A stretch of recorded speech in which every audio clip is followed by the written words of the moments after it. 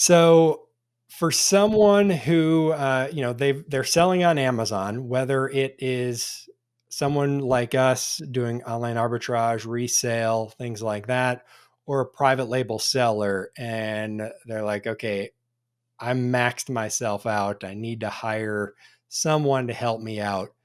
What does that look like in terms of a first hire that you would recommend that people look towards? So I'll try and keep it to just OA and wholesale because private label is a different game, and I don't I don't do private label, and so the metrics and when you do it are a little bit harder for me. Like I don't understand them, so I don't think I'm qualified to talk about that. Um, okay. But particularly around OA and wholesale, I can kind of give some really good advice. So internally within Fast Track FBA, whenever we we don't ever say no to people hiring VAs, but we do recommend against.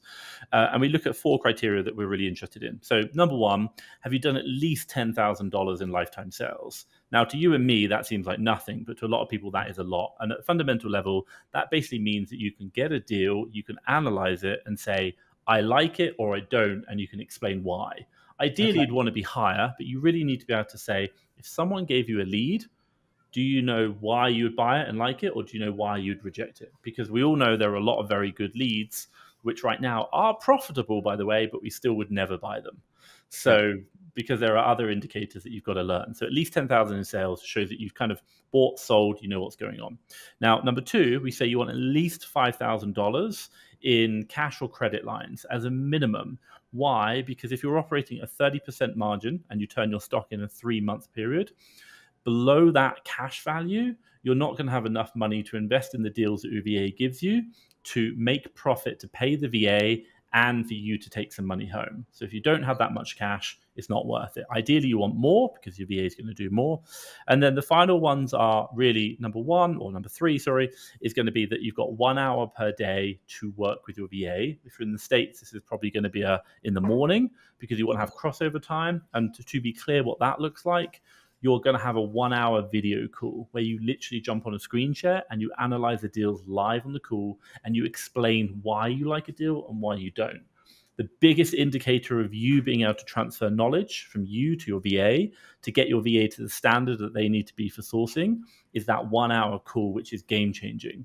Um, if you don't do that, your VA's performance will not get to where it needs to be. If you do it mm-hmm. consistently and you do it well and communicate really well and talk them through on a live screen share, the VAs will start to understand what you what you're looking for, and they can go away and find more deals. And so that's number three, and that's just an hour a day. And then uh, we say an hour a day for month one, if it's going well, then you're going to do three hours a week for month two. And then from month three onwards, you do an hour per week where you jump on the call and do it. And that's where I am now. But you always need to have that contact. And then finally, uh, number four will be that you want to grow your business with VAs and what you're a team.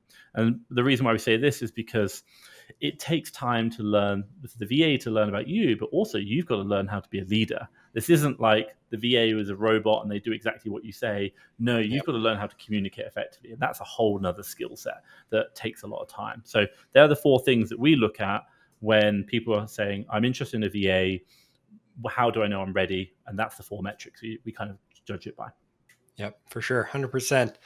So it sounds like to me, and those are all really good good tips and metrics for sure. And it sounds like you're recommending for people doing wholesale online arbitrage that for their first hire, they're hiring a sourcing agent. Correct. You, so to explain why, I would like to say get an admin VA. By the way, that's what I did. That's what a lot of people talk about. And I think it can be quite useful. But the problem comes is that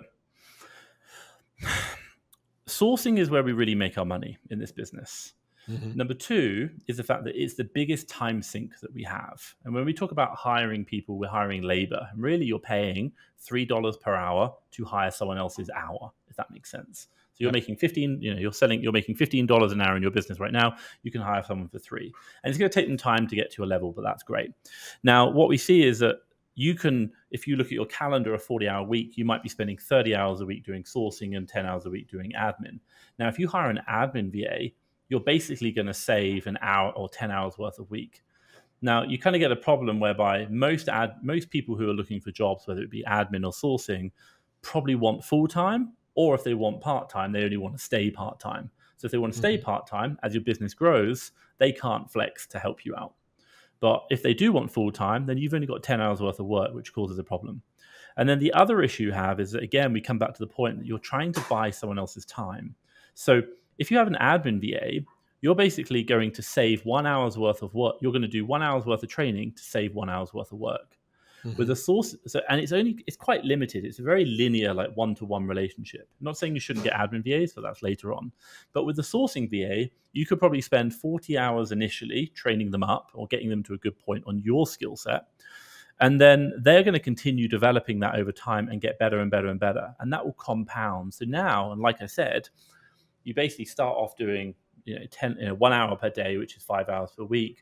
But by month three, you're now only working one hour analyzing their deals, but you're getting 40 hours worth of work back, which is incredible.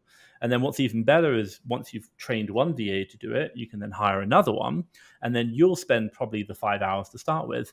And then the two of them will help improve each other if you're getting yep. good people. And so therefore it starts to compound.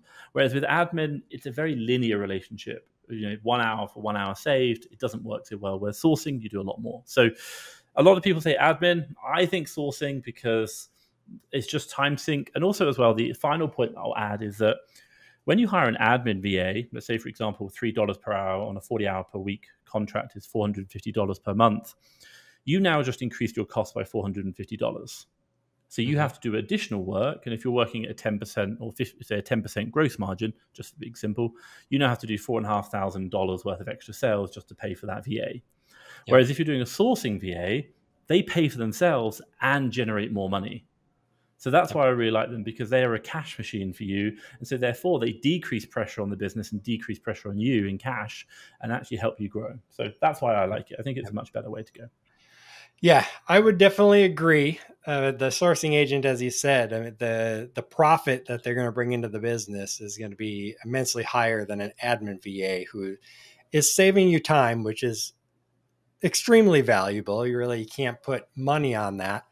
Uh, but in the beginning of the business, you're going to be in it, doing it uh, anyways, and you need to be doing a lot of those things and making sure they're done correctly. But know, I, I definitely would not want to give up my admin VA because she does so many things that save me time, like giving me reports on my my rentals that I have and updating my budget with the information on what I bought on Amazon so I don't have to find that stuff myself. So there's tons of little things that save me time.